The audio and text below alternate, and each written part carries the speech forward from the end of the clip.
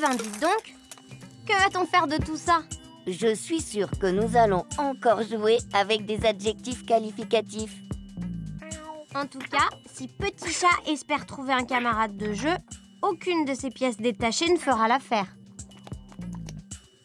Notre chat s'ennuie. Il faut lui fabriquer un ami. D'accord, allons-y. Pour le fabriquer, il faut dire comment est l'ami du petit chat. Eh bien, c'est un ami amusant Euh, d'accord, mais elle est plutôt effrayante là, ton amie. Oui, c'est plutôt une araignée effrayante. Oh, une effrayante araignée noire et velue.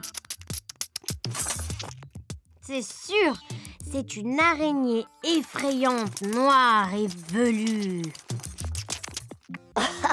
Une araignée velue, noire et horrible. T'as vu Comme les morceaux de l'araignée, l'ordre des adjectifs qualificatifs peut changer? Ils peuvent être avant ou après le nom. Oui, mais ce n'est plus vraiment une araignée. Hum, effectivement, c'est un chat inquiétant. C'est vrai, il faudrait l'améliorer un peu.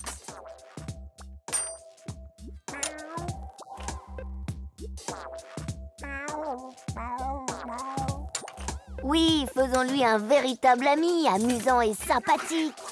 Il n'a pas duré bien longtemps, ton pauvre ami. Il est plutôt décevant. L'adjectif qualificatif décevant se place après le verbe et l'adjectif pauvre se trouve avant le nom. Une phrase peut posséder un ou plusieurs adjectifs. Ils peuvent être placés avant ou après le nom qu'ils précisent. Ils peuvent même se trouver derrière des verbes.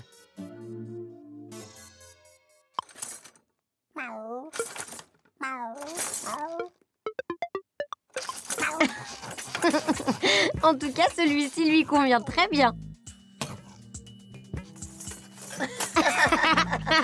Ce sont de nombreux petits chiens joueurs et turbulents.